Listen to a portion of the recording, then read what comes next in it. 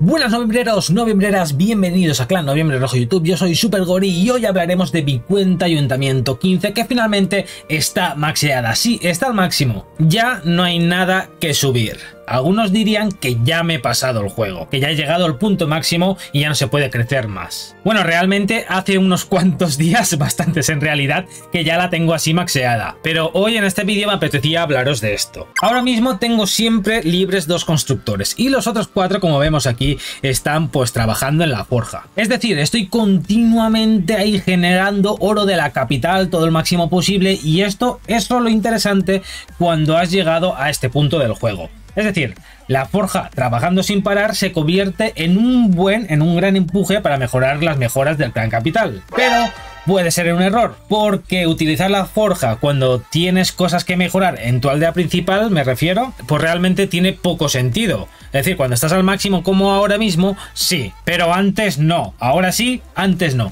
Y esto es algo que ya profundizamos más en un anterior vídeo, que también os dejo como siempre link en la descripción. Como también vemos por aquí, los animales, la caseta de animales, los tengo ya todos al máximo, todos a nivel 10. Esto significa que puedo usar cualquiera de ellos en todo momento y jugar cambiándolos dependiendo del tipo de ataque o ejército que utilice, sin tener que preocuparme de que si el animal está en mejora o de qué nivel tiene. Y esto es algo similar que también nos pasa con los héroes. Cuando los tienes mejorando, también es un poco rollazo no poder utilizar cierto héroe, es negativo. En el laboratorio tenemos pues más de lo mismo. Todo, todo, todo mejorado, todo ya al máximo. Esto es algo importante para la versatilidad de los ataques de los ejércitos y saber que vas con fuerza a tope. Y también aparte entramos aquí en el perfil y vemos ahí todas las tropas que están ahí al nivel máximo. ¿Cómo sabemos que están al nivel máximo? Por ese fuego. Veis que las máquinas, los hechizos, los héroes, las mascotas, el número del nivel lo tienen con un aura ahí de fuego, ¿no? Que se ve.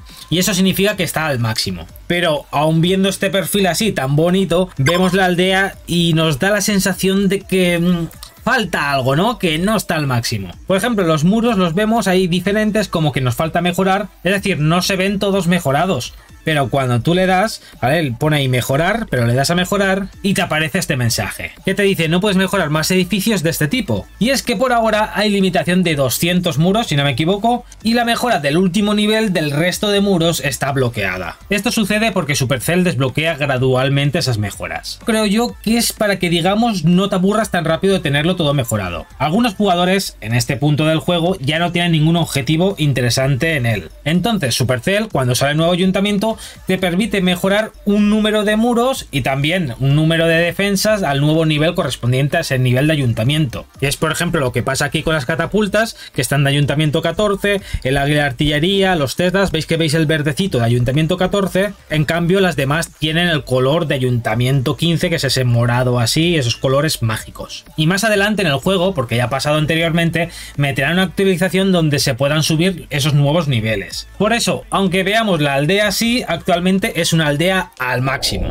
En este punto del juego atacar en multijugador buscando recursos es un sinsentido. La única opción lógica de jugar multijugador es subir de copas en Liga Leyenda. Así que ya que estamos vamos a hacer un ataquito en Leyenda, a ver qué tal se nos da. Llevamos un... Mira, una aldea... Esta es, típica. Vale, eh, llevo un Zaptitanas eh, puedo quitarme monolito, centinela, despertar ayuntamiento, eh, hechizo, creo que es buena zona. Y luego meter el, la máquina hacia el TH. Creo que es buena zona. Intentaré testear a ver si hay... Vale, voy a empezar con, con el centi, ¿vale? Por la esquina. Voy a meter las sanadoras. Voy a meter... Uh, terremoto... Ahí estamos, ¿vale? Y ahora sería lanzallamas. A ver que caiga esto. Claro, es que esa, arquera la tengo que entretener. Tiene que estar entretenida esa arquera, si no, no me gusta el plan. Vale. Un poquito más adelante, centinela, por favor. Ahí estamos. Vale. Ahora voy a soltar un globito. A ver, centinela, aguantas. Tendré que meterle una rabia al centi. No me gusta meterle rabias al centinela, pero eh, con este ejército no. Con es más de de lanzas sí, pero con este ejército no. A ver si también tumbo eh, lo que es la ballesta. Y ya perfecto, porque me, me, sacaría ya el, el centinela de esta zona. Vale, vente, vente. Vente con la reina. de fiesta. Vale, rompe por aquí, rompe por aquí. Mete al rey, las brujitas. Vamos a hacer un corte con esbirro. Vamos a meter aquí un salto. Vale, a titana más. Valkyria eh, de esta. Vale, sale el castillo. Vamos a, a ver si adelantas un poquito, centinela. Ahora vamos a dar la habilidad, habilidad del rey. Eh, creo que es buena zona ya para meter la rabia. Esta, esta y esta. Vale, el rey ha saltado por la, por la reina rival. La cazadora, vale, también va un buen, a buen lugar. Aquí voy a meter una arquerita para que haga limpieza. El ayuntamiento está aguantando un poquito, me va a hacer un poquito de daño. La lucha tendría que haberla aguantado más. No me gusta, no me gusta donde la ha usado. Pero bueno, vamos a darle. Pam, pam, pam, pam. Esto le metemos aquí. Vamos, que congelamos. Y a ver, cae el, ayuntamiento, vale, perfecto. Eh, puedo meter. Voy a meter una arquerita aquí a la derecha, que voy a hacer una limpia. Esa, ahora la luchadora, ¿esa esquina qué? Esa esquina es la que tenía que encargarse la luchadora. Por eso digo que la he metido mal. Esa esquina, ahora no me va a salir pleno por eso. En serio, ¿eh? Vale, habilidad de la reina. Eh, la reina no va a llegar. Es que no llega, no llega. Ese infierno me va a comer. Bueno, no es pleno por, porque he fallado ahí. he fallado, lo he hecho mal. Vale, a ver, eh, ¿qué me interesa más? Rompe por aquí. Voy a meter maguitos de limpieza, no tengo tiempo ya, además. Y un barbarito por aquí. Bueno, eh, no está mal. Podía, eh, tendría que haber sido pleno.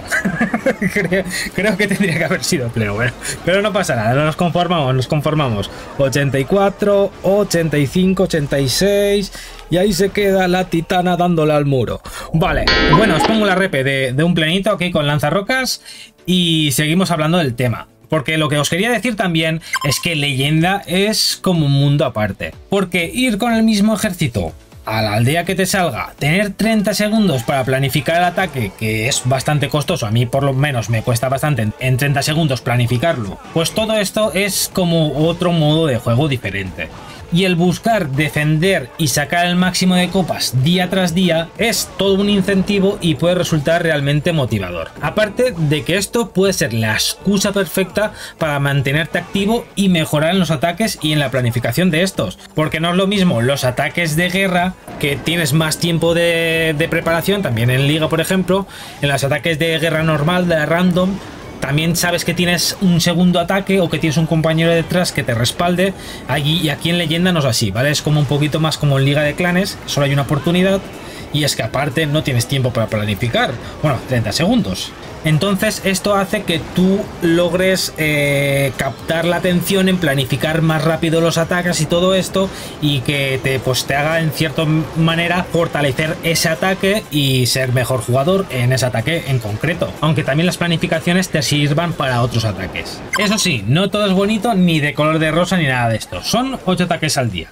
Y un punto muy negativo es el tiempo que se tarda en hacer los ejércitos. Tened en cuenta que cada ejército más o menos tarda 40 minutos y esto pues lo que puede hacer es forzarte a estar continuamente entrando durante todo el día al juego para realizar esos ataques. Cosa que por ejemplo en mi caso personal no suele ser beneficiosa pues a lo largo del día pues tenemos mil cosas que hacer y entrar fugazmente a hacer los ataques no suele ir bien, pues tienes en la mente los quehaceres del día a día y entras más a quitarte esos ataques que a concentrarte en disfrutarlos. Esto que os he dicho es mi caso, claro está que cada uno es un mundo aparte, pero a mí personalmente me fuerza cada día usar una poción de aceleración y aún así hago dos ataques antes de usar esa pócima y después de usar la pócima es una hora en el juego que igualmente, aunque estés acelerado, te toca esperar entre y ejército unos 10 minutos. Eso creo que es un factor serio y muy negativo en Clash of Clans. Los tiempos de los ejércitos me parecen algo ridículo, pero independientemente de eso, el terminar un día positivo en copas puede resultar muy gratificante y motivador. Y el terminar negativo puede ser muy frustrante. El no decaerte en esos momentos y sacar fuerzas, ver las repeticiones de ataque, defensa y buscar mejorar, a eso le llamamos tener mental. Que eso es algo que a la fuerza aprendemos a llevar y forma parte de nosotros,